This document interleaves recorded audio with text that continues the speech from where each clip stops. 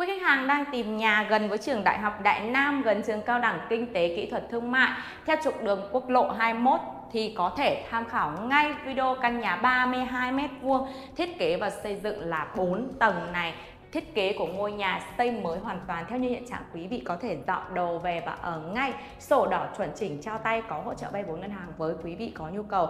Thiết kế của ngôi nhà hướng nhà là hướng Tây Nam, ngõ trước nhà 2m, cách với khoảng tầm 100m là ra tới đường ô tô đi lại. Vị trí thuộc phường Phú Lãm, quận Hà Đông, thành phố Hà Nội. Xung quanh vị trí ngôi nhà này gần với chợ dân sinh, trường mầm non, trường tiểu học cấp 1, cấp 2, cấp 3, cao đẳng, đại học rất là gần.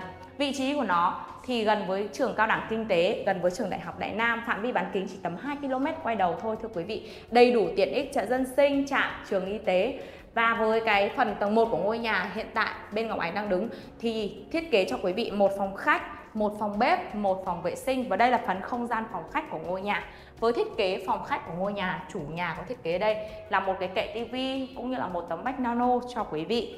Gạch lát nền thì thiết kế là vân đá granite Hệ thống trần thạch cao, đèn led chiếu sáng tiết kiệm điện, đầy đủ hồ sơ điện, hồ sơ nước lắp đặt xong hết.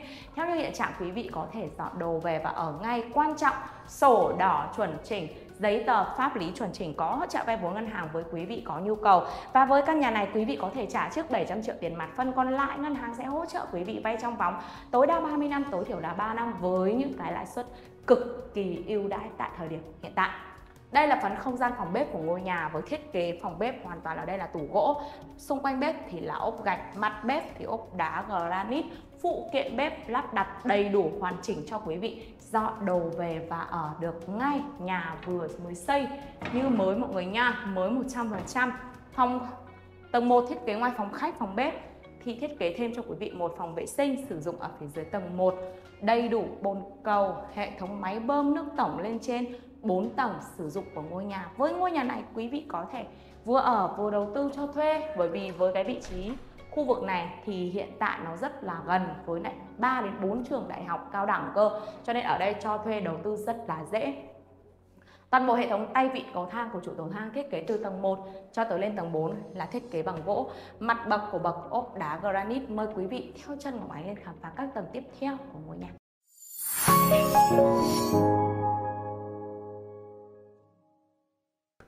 Phía tầng 2 của ngôi nhà thiết kế cho quý vị như sau ạ. Trên phía tầng 2 thiết kế một phòng vệ sinh đặt ở phía bên ngoài, một phòng ngủ đặt ở phía bên trong và phần phòng ngủ này thì chủ nhà có thiết kế đầy đủ nội thất ở phía bên trong và phòng ngủ cho quý vị gồm một chiếc tủ, một chiếc giường, một táp đầu giường và một kệ trang điểm bàn phấn ở đây quý vị nha. Nhìn tổng quan, phòng ngủ rất là rộng, cửa sổ thông thoáng hai lớp, đầy đủ ống chờ, dây chờ, áp chờ điều hòa. Giường thì kích thước 1m8, 2m2 Đây là tủ mọi người ạ. Tủ thì chủ nhà thiết kế lên trên tới tận trần cho quý vị Rất là gọn Cửa thông phòng thiết kế là cửa gỗ. Và nhìn tổng quát từ phía bên ngoài vào đây mọi người có thể thấy. Khi mà đã đã lắp đặt giường, tủ, bàn phấn, táp Thì ở đây không gian sử dụng vẫn còn nha mọi người. Thiết kế tương đối là hợp lý, hài hòa. Phòng vệ sinh sử dụng ở phía bên ngoài đây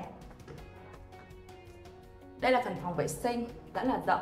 Ngoài ra hành lang có cửa sổ thông thoáng để lấy ánh sáng vào phần hành lang. Phòng vệ sinh của ngôi nhà đáp ứng đầy đủ công năng sử dụng cho quý vị theo từng tầng.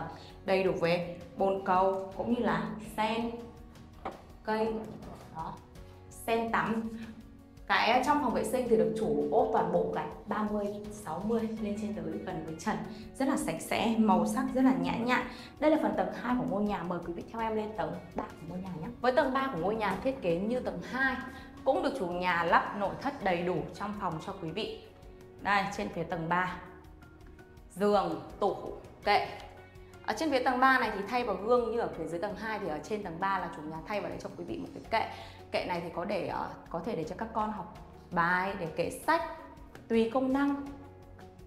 Nhưng mà đây là phần tổng quan quay.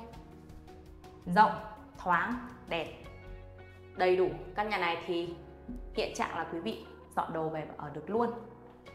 Phòng vệ sinh tầng 3 thiết kế tương tự như tầng 2 phòng nào cũng có hành lang cửa sổ thoáng. Tất cả các phòng đều có đầu chờ ống chờ dây chờ áp chờ điều hòa. Thiết kế tương đối là hợp lý. Và trên phía tầng 4 thiết kế ra sao? Mời quý vị theo em lên khám phá tầng cuối cùng của ngôi nhà. Và hiện tại Ngọc Ánh đang đứng ở trên phía tầng 4 của ngôi nhà. Với tầng 4 của ngôi nhà thiết kế công năng sử dụng thêm một phòng. Ở trên tầng 4 thì phòng này quý vị có thể mục đích làm phòng thờ, phòng làm việc. Đó còn cái phòng này rất là rộng cái này thì có thể ngăn ra làm được hai phòng. Và tất nhiên, phòng nào cũng có cửa sổ đầy đủ ánh sáng. Hướng nhà là hướng tây nam, quý vị nhé giá bán em để ở dưới phần miêu tả cho quý vị. Phần còn lại, sân phơi. Này sân phơi. Tương đối là thoáng, hợp lý.